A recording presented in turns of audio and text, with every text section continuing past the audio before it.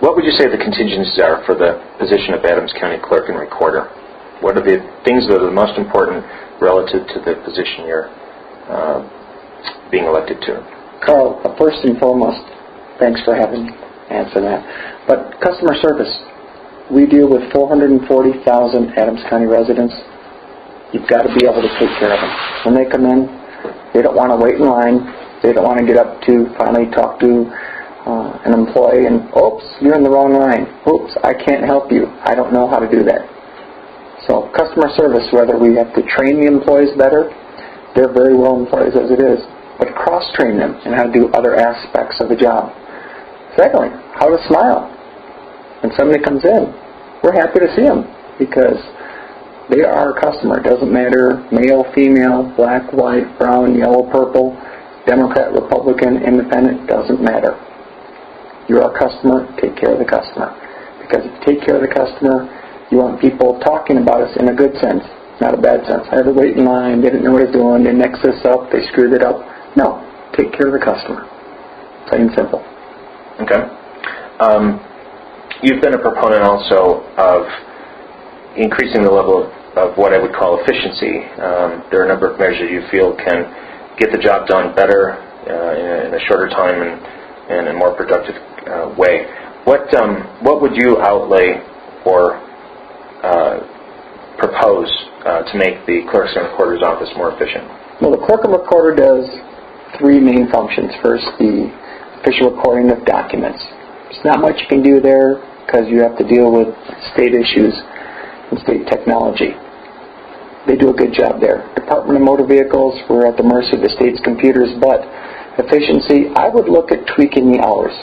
Maybe open later at night, one or two nights a week. Maybe open on weekends because nobody likes to go wait in line, and that's what I always hear. Using technology, maybe using a kiosk in the office, maybe having a greeter so when they come in, that they can, oh, I'm sorry, you're in the wrong line, you got to go all the way back over there and wait in line. No, what are you trying to do? Oh, you can handle this right here. Well, let's get them online. Basically, common sense. And train your employees so they can do it better. With elections, a permanent mail-in ballot is the quickest, simplest, cheapest way to do stuff. It's pretty secure. But also, we have polling centers. Maybe get better computers or technology. There's four vendors out there, and I think the current clerk or the predecessors, they bought the wrong equipment. Yes, it costs money, but in the long run, it'll save you money. But just to get the job done more efficiently, current clerk in the 2008 election, after the polls closed on Tuesday night, November 4th at 7 o'clock, we did not find out the preliminary results until 25 hours later. Why? The clerk, she had didn't staff properly, didn't lead them, didn't do a lot of stuff planning ahead of time. When I worked at Radio Shack, we had inventories. You clean the store up before the inventory. You organize the stuff before the inventory. You can count some things before the inventory to make the inventory go smoother, quicker, faster, and also more efficient. Okay.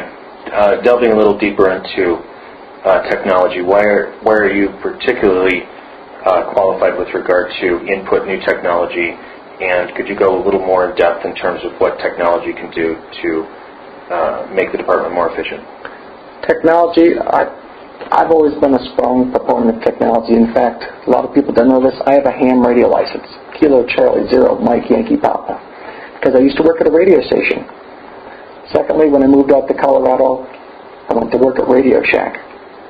Radio Shack was your neighborhood electronics store. At one time, they were the number one computer retailer, the number one cell phone retailer, number one electronics retailer.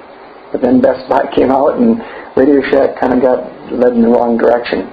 But Radio Shack, we've done things, I've worked with them, but also common sense. Technology doesn't do you any good unless you can harness the power of it, but also you've got to have good people working the technology. In other words, just because you have a computer, half time some people know how to get on the internet, how to do this, or oh, this is a, a an email from Citibank. I better open it up. It's a virus. Things like that. You've got to also train the people. But with technology, the office, when you go to the airport and you want to check in, in the old days you had to wait in line, give them your bags, give them everything. Nowadays you can use a kiosk without having to deal with anyone. check in quicker, faster, simpler. The internet. You can do a lot of things online. The clerk and recorder's office, their website should be easy, explaining what we can do to help out, how to get things done. And secondly, you might be able to do some things online, whether it's 3 in the morning, it's on a weekend, during the day, whenever. Internet is your friend. Keep in mind though, not everyone has a computer.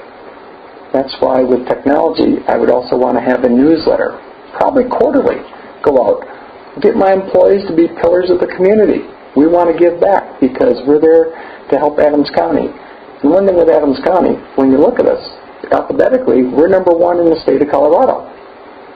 With election results, we're typically 64 out of 64 because the current clerk is not leading the employees, not training them properly, not utilizing leadership skills and technology to get the job done quickly, efficiently, and honestly. Okay. Leading into the next question, um, with regard to integrity and honesty, um, what measures would you input to help ensure uh, exactly that in the Office of Clerk and Recorder?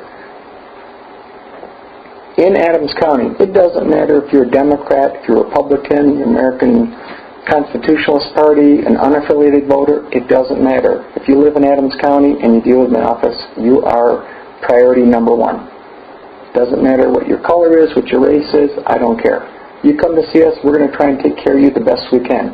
As I told them when I worked at Radio Shack, it's like, think of that person coming in as your mother or your grandmother. How would you treat her? You take care of them, you put them on a pedestal. Because if you take care of their customer, they will take care of you. Nobody likes to be treated wrong because then you tell 10 of your friends who will tell their friends and it's bad publicity. If you take care of them, God, I went to the clerk and recorder's office.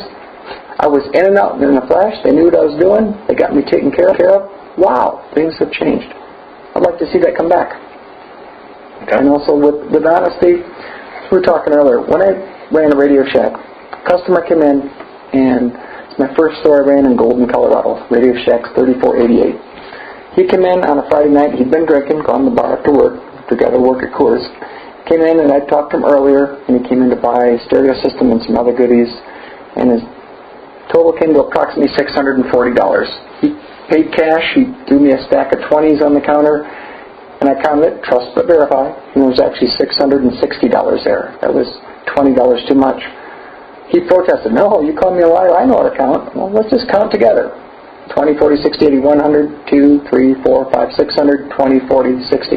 You gave me too much. That's your money. Next day he came back when he was sober and apologized, but you take care of your customer, and I hope somebody looks out for me because I'm honest. I'll make mistakes too. And I just hope that, you know, somebody looks up me, hey, you gave me too much money. If I'm short, they'll say something. But if you're over, it's not my money. It's your money. Take care of it. Okay. Um, last question. What do you feel the voters of Adams County really need to know and understand about you as a candidate? I care for my customers. I care for the citizens. Currently, right now, I am the president of my HOA, 620 members, one of the largest ones in Thornton. I've also served on two City of Thornton advisory boards. You don't get any pay for this, but you're there to try and make a difference to make the world a better place, to make Thornton better, to help out my HOA, my homeowners association, so that the home values stay level or go up, make the neighborhood nice to be in, be a part of. You can't do it by yourself. You've got to have good people. So I've got other board members that help me out that hopefully share the same values. City of Thornton Advisory. We didn't get paid for it. Of course, we did get some food when we went to the meetings, but uh, in the big picture, just trying to help the community out. I just want to do the best job out there and hopefully say that I made a difference or put a smile on somebody's face or just got them taken care of.